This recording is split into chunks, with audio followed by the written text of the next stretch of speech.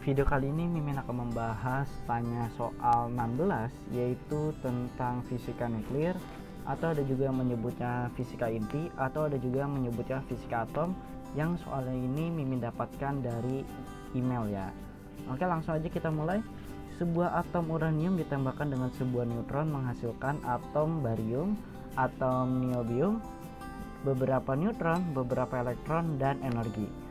Jika diketahui masa uraniumnya sekian ya, kemudian masa bariumnya itu sekian dan masa niobiumnya sekian, masa elektron sekian, masa neutron sekian, energi yang dihasilkan dari reaksi ini sebesar. Nah, ini mungkin agak sedikit uh, rumit ya perhitungannya. Jadi di soal itu kan jelas diketahuinya kalau misalkan dari kalimat pertama kalau uranium itu dengan sebuah neutron ditembakkan dengan sebuah neutron. Jadi uranium ini ditembakkan dengan neutronnya. Jadi dia ada di sebelah kiri. Kemudian setelah ditembakkan ternyata menghasilkan barium niobiumnya dan juga menghasilkan beberapa neutron beberapa elektron dan energi. Nah di sini mimin tuliskan koefisiennya itu A dan B. Artinya beberapanya itu. Jadi ada beberapa neutron dan beberapa elektron Nah, jadi yang kalau kalian belum tahu, di situ kan dikatakan neutron. Neutron itu nilainya itu 01 atas bawahnya. Kalau elektron 0 min 1. Ya, bisa ya. Oke, ini udah ada ketentuannya tersendiri. Entah itu nanti ada juga proton, neutron, triton dan seterusnya. Nah, kemudian di soal itu diketahui masa uraniumnya sekian, langsung aja nggak usah mimin sebutin karena kepanjangan. Masa bariumnya sekian, masa niobiumnya sekian, masa neutronnya sekian, dan masa elektronnya sekian. Nah, pertanyaannya adalah energi yang dihasilkan dari reaksi ini sebesar berarti kan yang ditanya energi ya. Nah, cara ngerjainnya pertama, langsung aja kita masuk. Nah, langkah pertama yang harus kita lakukan adalah kita harus menentukan koefisien reaksi, yaitu A dan B-nya kan. Kenapa? Karena di reaksinya itu kita belum tahu ada berapa banyak neutron, ada berapa elektron yang dihasilkan melalui tembakan uranium dengan neutronnya itu. Jadi kalau kita tuliskan ulang itu tadi kan um, sama kayak gini ya, oke? Okay? Persamaan awalnya. Nah, di sini kuncinya adalah ketika kita mau menghitung energi yang dihasilkan dari reaksi, kita harus melihat kesetimbangannya dulu. Ah, bukan kesetimbangannya sih.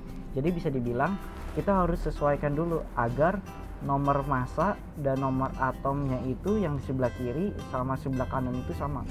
Jadi dengan kata lain, kita bikin nih angka-angka yang di atas ini. Jadi kalau kita tuliskan ini ada A, ini Z. Angka yang di atas harus sama dengan yang kiri sama di kanan harus sama. Dan angka yang di bawah juga yang di sebelah kiri harus sama dengan yang di sebelah kanan. Jadi maksudnya kiri kanan itu mimin batasin ini. Ini sebelah kiri ini sebelah kanan.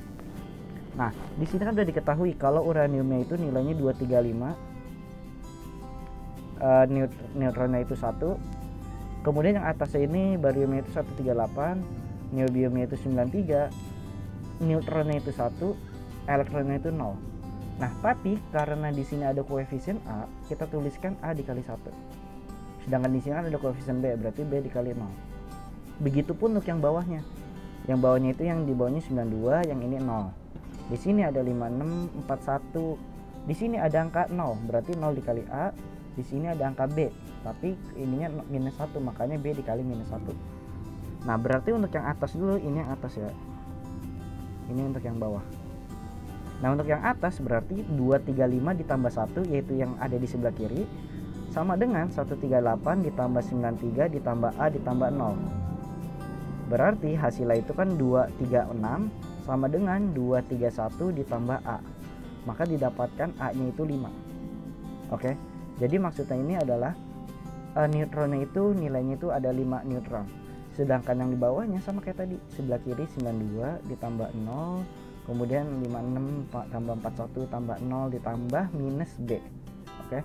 Maka 92 sama dengan 97 kurang B. Didapatkan B nya itu minus 5 maka elektronnya itu 5 jadi bisa kita katakan kalau di reaksi ini akan menghasilkan barium niobium 5 neutron dan 5 elektron plus energi. Oke? Paham ya? Nah setelah kita dapatkan nilai koefisiennya itu kita masukkan ke persamaan yang tadi eh, reaksi yang tadi kita tuliskan tapi A sama B nya itu kita ganti jadi 5 dan 5 nah untuk menghitung energi itu kita harus mencari defek masanya atau delta M nya. Artinya kita harus menghitung M di sebelum reaksi harus dikurang dengan M sesudah reaksinya atau M kiri dikurang M kanan. Berarti kan M eh, yang kiri itu kan ada M uranium ditambah M neutron. Yang di sebelah kanannya ada M barium M niobium sama 5 kali masanya neutron tambah 5 kali masanya elektron. Kenapa dikali 5 kali? Karena ada banyak ada 5 kali. Makanya kita tuliskan 5 kalau ada 4 yang nanti dikalikan 4 ya udah setelah itu kita masukkan nilainya. MU nya itu tadi 235,0439 masih neutronnya 1,0087 ini ada di soal kok. Masa bariumnya 137,9050 masa niobiumnya 92,9060 masa neutronnya itu 1,0087 tapi karena ada 5 kali maka kita kalikan 5 ditambah 0,0005 masa elektronnya ya. Kemudian dikali 5 karena masa elektron elektronnya itu ada 5 setelah kalian hitung pakai kalkulator atau mau pakai coret-coretan bebas. Mimin udah dapatkan kalau nilainya itu yang di sebelah kiri 236,0526 dikurang yang di sebelah kanannya itu ada 235,857 maka didapatkan delta M nya itu sekian yaitu 0,1956 SMA. SMA itu apa? SMA itu adalah satuan massa atom. Oke. Nah, setelah itu kita dapatkan langsung aja tulis energi itu nilainya delta M dikali 931,5 mega elektron volt per satuan massa atom. Ini udah suatu ketetapan. Jadi ini tuh ada juga nulisnya tuh hanya 931 gitu. Tapi Mimin udah coba hitung pakai 9,931 nggak ketemu yang ketemu itu ketika kita ubah menjadi 931,5 jadi biasanya itu ini di, uh, diketahui di soal sih ya. Ya udah kita masukkan. Tadi sisa delta m nya itu 0,1956 SMA dikali 931,5 mega electron volt per SMA SMA nya coret. Setelah kalian kalikan nanti hasil energinya itu adalah 182,201 mega electron volt. Jadi kalau di soal itu kita dapat kalau jawabannya itu yang B bisa ya. Jadi kalau dari soal ini kalau ditanya energi yang dihasilkan dari reaksi ini sebesar yaitu 182,201 mega elektron volt. Oke? Mimin rasa ini penjelasan yang cukup jelas dan singkat ya. Kalaupun ada pertanyaan bisa langsung tanya di kolom komentar DM Instagram atau tanya di grup diskusi Telegram. Oke? Sampai berjumpa di tanya soal selanjutnya